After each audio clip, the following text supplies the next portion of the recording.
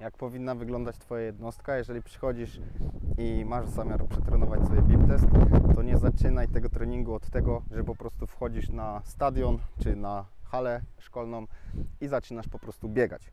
Musisz się przygotować, musisz zadbać o aktywny brzuch, aktywny korpus, który tutaj Cię okala. Musisz zadbać o aktywny pośladek, który będzie Ci pomagał w biegu przesuwać się do przodu. Musisz zadbać o stopę, o staw skokowy, o kolana i o to, żeby tutaj wszystko na tym całym układzie w biegu dobrze się układało. Także musisz o tym pamiętać i musisz się zawsze do tego przygotować. Nie ma możliwości, że tak jak powiedziałem, wchodzisz i po prostu ustawiasz pachołki i biegasz. Nie, to tak nie działa. Ta rozgrzewka ma Ci zająć około 10-15 minut.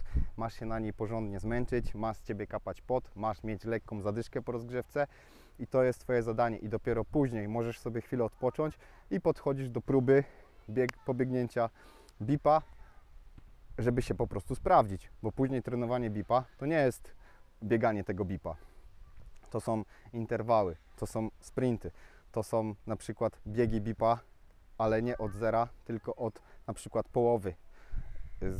I uczenie się tego testu tak, bym nie musiał na nim po prostu myśleć, tylko robił go z automatu jak maszyna.